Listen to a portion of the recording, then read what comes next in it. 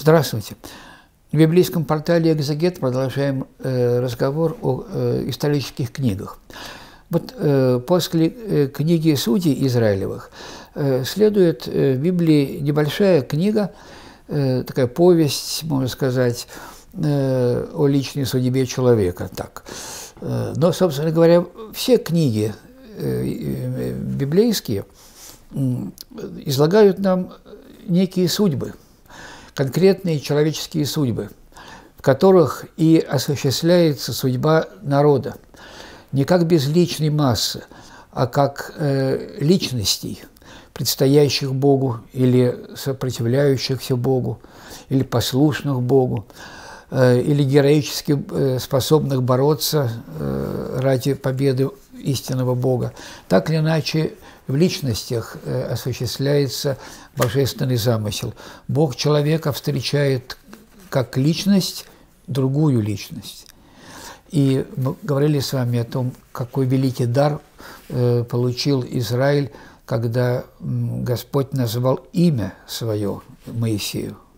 Так вот, это э, означает, что как личность обратился Бог к Моисею, как сказано там, Э, э, Бог знал, Моисей знал Бога лицом к лицу, как с другом говорил.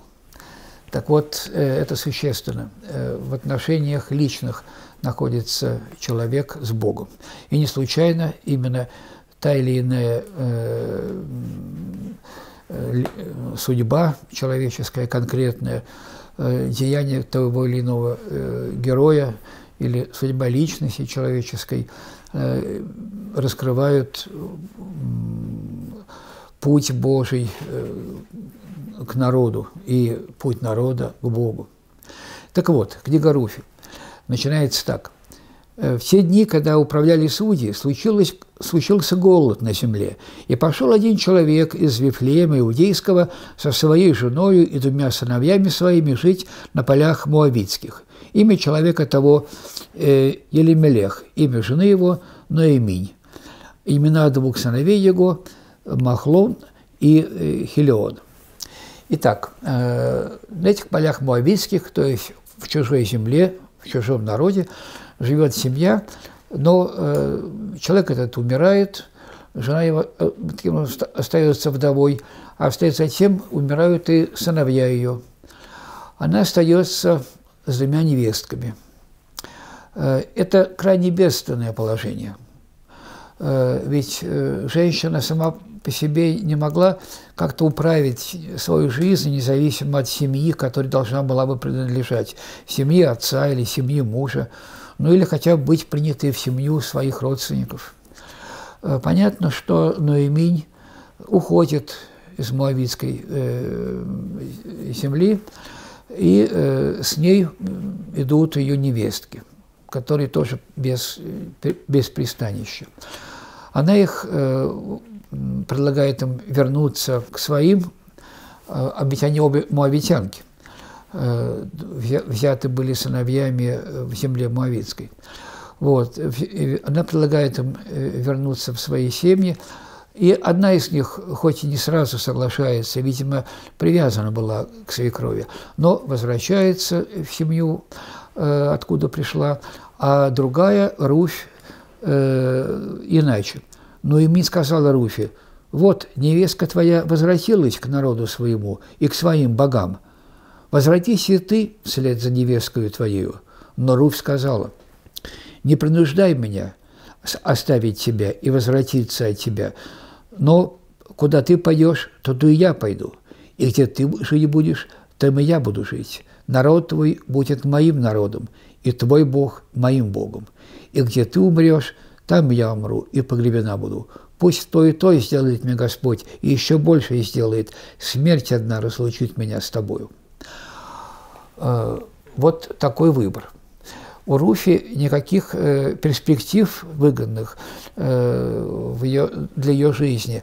Жить э, с Ноэминью, обедневшей, несчастной, уже нищей э, свекровью, не было. Но она хотела быть э, с ее народом и с ее Богом.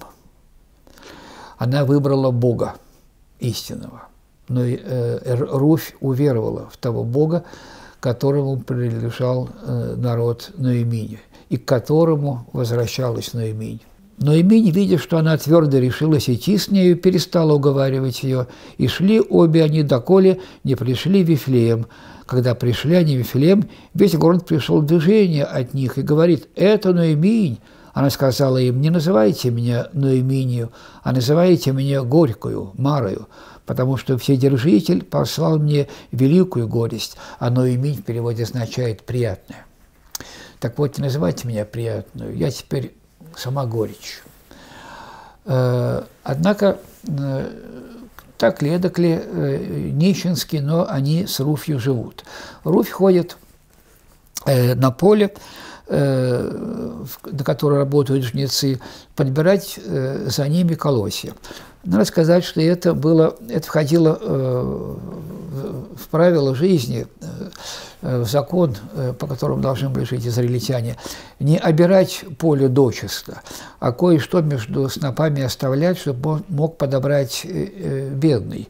Также не отрисать дочисто маслину, но тоже оставлять какие-то ягоды, чтобы они достаться могли бедному человеку. И так она значит, подбирала за жнецами Э, на некоем поле, которое принадлежал Ваозу. Ваозу – жителю Вифлеема тоже. И вот как-то, э, как сказал Ваоз слуге своему, представленному к жнецам, чья это молодая женщина – Слуга, представленный к жнецам, отвечал и сказал, «Это молодая женщина-моавитянка, пришедшая с Ноеминью, с полей моавитских». Она сказала, буду я подбирать и собирать между снопами э, позади жнецов. И пришла и находится здесь с самого утра и доселе. Мало бывает она дома. Э, то, что немногое вот ей удается собрать, этих зерен из тех колосьев, она приносила, и этим они с Ноемини питались. Бооз, э, ну, конечно, наитием э, от Бога, велит ей не смущаться, ходить за жнецами, собирать, позволяет э, пить э, из э, сосудов, которые приготовлены для жнецов, и даже позволяет ей поесть с, ее, с его слугами. Он сказал ей, время обеда, приди сюда и ешь хлеб, и обмакивай кусок твой в уксус. Ну, словом уксус переведено, видимо, понятие так, соус, в который обмакивали хлеб, когда ели. И села она возле жнецов, и он подал ей хлеба, она ела, наелась и еще осталось. И потом, когда пришла домой, то э, этот оставшееся от трапезы э, подала Руфь, э, подала Ноеминь. Ноеминь, узнавши, что это Вооз, на поле которого Руфь собирала колосья, как-то предусмотрела вот такой возможность для Руфи э, найти пристанище в его доме. Э, так, попросту говоря, понравится Воозу. Научил ее, как поступить. «Дочь моя», — говорит Наимень, — «не поискать ли тебе пристанище, чтобы тебе хорошо было? Вот Вооз со служанками, которого ты была, родственник наш. Вот он в эту ночь э, веет на гумне ячмень. Умойся, Помажься, надень на себя нарядные одежды твои и пойди в гумно, но не показывайся ему, так доколе не кончит есть и пить. Когда уже он ляжет спать, узнай место, где он лежит, тогда придешь и откроешь у ног его и ляжешь. Он скажет тебе, что тебе делать. Ну, то есть, как бы так, пригреться у, не, у, рядом с ним. Руфь так поступила. Э, Ваос спрашивает, кто ты, когда проснулся, увидел около ног своих и подалеку эту? Я Руфь, раба твоя, простри крыло твое на рабу твою, ибо ты родственник. То есть простри крыло твое, иначе говоря, будь покровителем мне, ибо ты родственник. Он действительно был родственником Ноемини, э, вернее, ее мужа. «Дочь моя, не бойся», – отвечает ей Ваус. Я сделаю тебе все, что ты сказала, ибо у всех ворот народа моего знают, что ты женщина добродетельная. Хотя и правда, что я родственник, но есть еще родственник ближе меня. Итак, он предлагает ей приблизиться к другому человеку, который имеет как бы более право на покровительство над Руфью. Дело в том, что по их, ведь, как вы знаете, наверное, по их закону женщина, чтобы быть не брошенный, так сказать, не оставить без потомства э, своего умершего мужа, э, должна была стать женой брата или кого-то из ближайших родственников, тем самым продолжив род, что было важнейшим э, для Израиля, продолжить жизнь народа и сохранить территорию, которая принадлежала э, этому семейству, поля этого семейства э, в родстве. Э, значит, Баос приглашает прилюдно, то есть при других старейшинах э, города, сидя у ворот на, э, на скамье, э, когда проходил тот другой родственник Ноемининого мужа, приглашает его и говорит ему, что вот э, Ноеминь, э, которая пришла из полей Моавицких, продает свои поля, также и ее невестка Руфь с нею. Так не приобретешь ли ты эту землю, а с ней вместе и, значит, право взять в жены Руфь? Тот отказывается, потому что нарушило бы его семейное разделение э, земли, э, он не мог э, взять Руфь. И тогда Воос берет Руфь под свое покровительство. Она становится его женою. И сказал весь народ, который при воротах и старейшины, мы свидетели, да соделает Господь жену, входящую в дом твой, как Рахиль и как Лию, которые обе устроили дом Израилев приобретай богатство э, в Ефрафе, и дославится имя Твое в Вифлееме, и да будет дом Твой, как дом Фареса, которого родила Фомарь Иуде, от того э, семени, которое даст тебе Господь от этой молодой женщины. Итак, это не просто частная история Руфи и Вооза. Это не просто удача Ноэми, которая теперь уже может э, по праву опять называться не горькую, но приятную Ноэминию. Это э, правда, которую удостоверяет народ.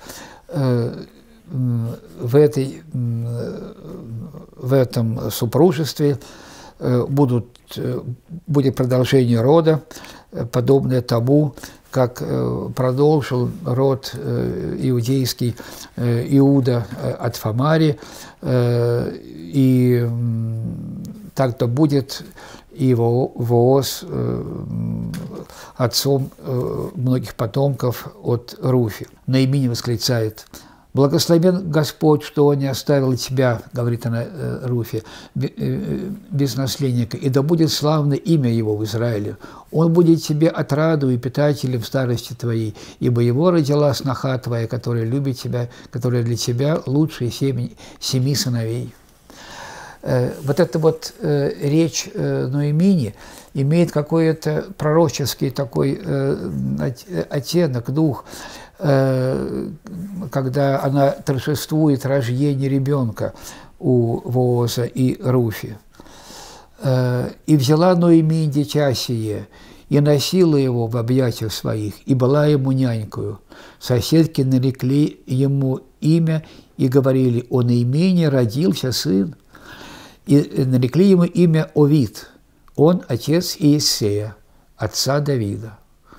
Вот как интересно – Рав, так от, э, из города э, Иерихона, блудница, которая э, пустила э, соглядатаев Иисуса Навина, вошла в народ израильский и стала э, матерью Вооза. Руфь из Моавитского народа, принявшая Э, от, от всего своего, так сказать, видимо, какого-то интуиции духовной, от всего своего преданной, от всей преданности своей э, к Ноемине и ее семье, принявшая э, закон из, Израиля. Э, эта Руфь становится э, бабкой Давида. Пути Господни они идут путями не просто, так сказать, географические или этнографически э, однозначно конкретными. Э, из другой земли, из другого народа может явиться человек, который своей готовностью посвятить жизнь Богу истинному принят народ Божий. И дальше эта книга Руфи, маленькая э, такая, буквально тут сколько, э, четыре страницы этой повести, э, кончается так. Похоже на то, э, что мы читаем э, на первой странице Евангелия от Матфея. Книга Руфи кончается так. «И вот род фаресов – Фарес родил Исрома, Исром родил Арама, Арам родил Аминадава, Аминадав родил Наасона, Наасон родил Салмона, Салмон родил Вооза, Вооз родил Овида, Овид родил Иессея, Иессей родил Давида. Мы подходим в, этом, э, в этой истории, казалось бы, такой частной, простой истории жизни э, Ноэми и Руфи, мы подходим э, к рождению Давида, который есть э, предок Христа Спасителя. Э, на этом мы кончим разговор о книге Руфи. До следующей встречи, которая будет посвящена э, книгам царств. До свидания. Внеси свой вклад, оцени, подпишись и поделись этим видео.